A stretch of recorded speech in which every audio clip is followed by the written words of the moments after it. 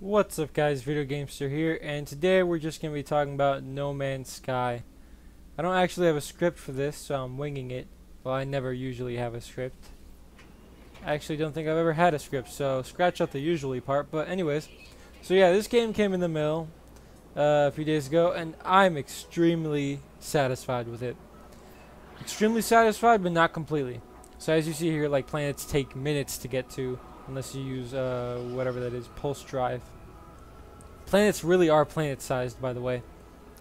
But the only reason I'm not extremely satisfied with it is because the idea of this game is really to just go to different planets and play Minecraft, and then fly to another planet and kind of play Minecraft. You know, like basically mine to get a better ship or suit or multi-tool basically that's it.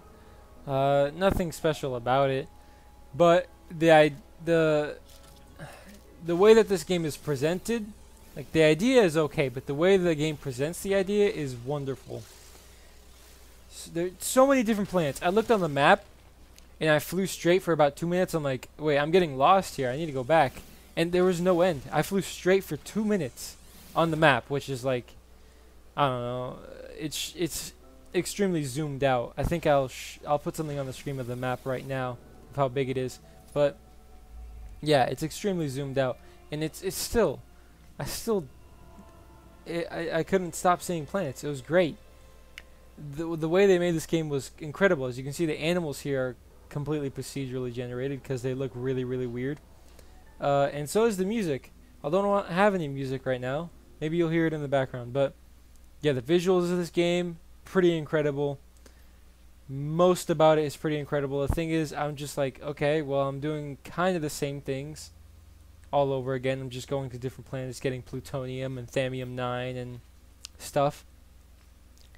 There isn't a story to No Man's Sky, but there are a bunch of objectives. It doesn't show you on the screen right now, but on the bottom right, there's usually an objective that says, for me, most of the time it said, build, uh, build warp drive. So I finally built warp drive, and that's how I got to this planet. Um, and now I think it says something like buy a better ship or something like that. I don't know. I don't remember. But it's basically Minecraft, but you don't get to build a house, but you do get to go to different planets that are Earth-sized, and there's 18 quintillion of them. So, I would give this game about an 8.9 out of 10. Uh, yeah, it's pretty great, but not perfect. It could have had like maybe more intelligent life on it that you could talk to, or maybe like every five planets there'd be a giant city filled with intelligent life. Something cool like that. But this game is pretty great. I would recommend it. Uh, just get it from Amazon Prime though. You'll save ten dollars. Uh, it's not worth 60 bucks. I don't think any game is worth 60 bucks, but definitely worth 50. Uh, yeah, uh, this has been Video Gamester. which just talked about No Man's Sky for a little bit, and I'm out.